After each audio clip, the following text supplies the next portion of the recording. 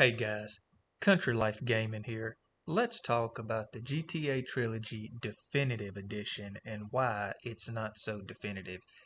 As you'll see, you're going to have some glitches and bugs on the screen as you're watching this video. Um, credits are going to go out to who they belong to.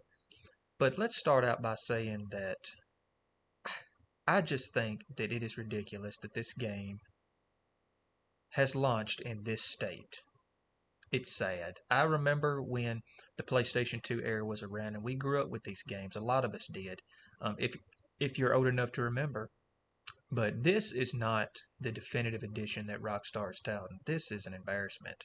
I mean, look, this car is spinning out of control in the middle of the road. It's just ridiculous. And not only that, character models are wonky. There's been no response from Rockstar at all, not that I've seen, that's really explained why they released this game in this kind of state, and especially not giving out no review codes to any of the reviewers ahead of time.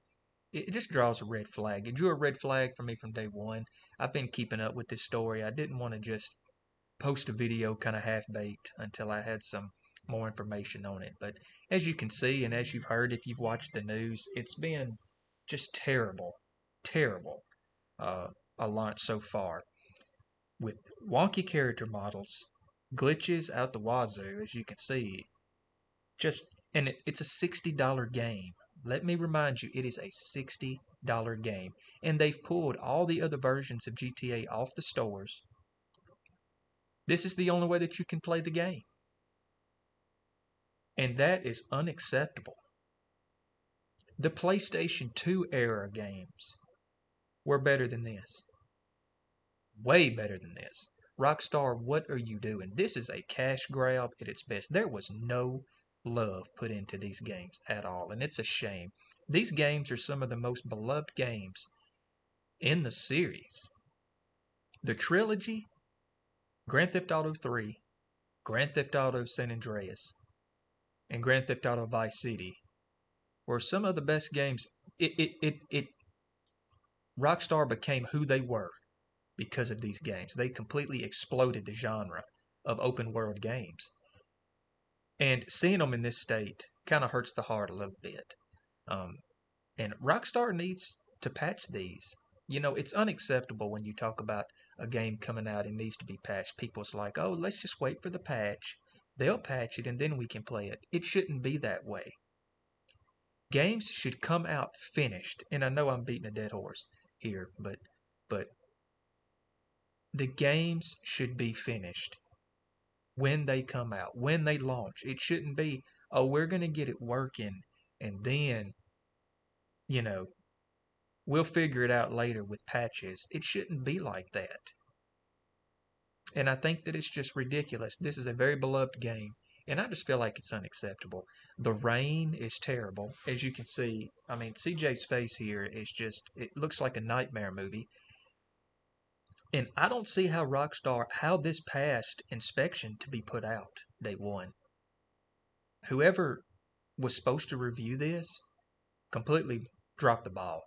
They completely dropped the ball. It, it, it's just terrible. It's just terrible. And, and I don't really know what to say. I mean, look at these rain effects particles.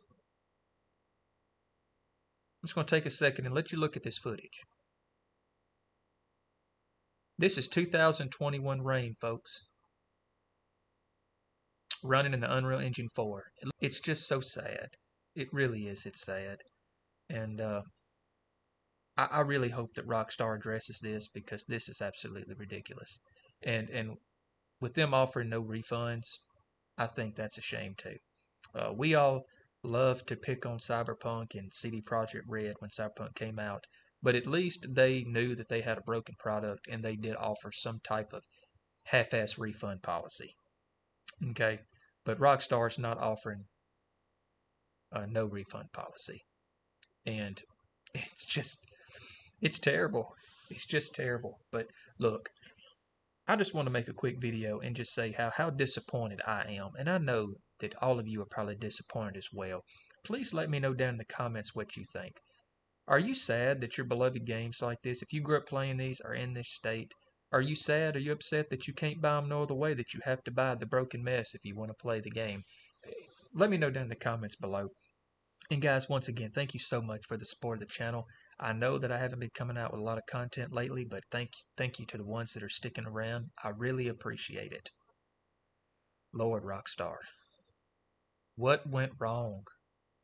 Where's the rock star of the old days? All right, guys. I'll see you soon.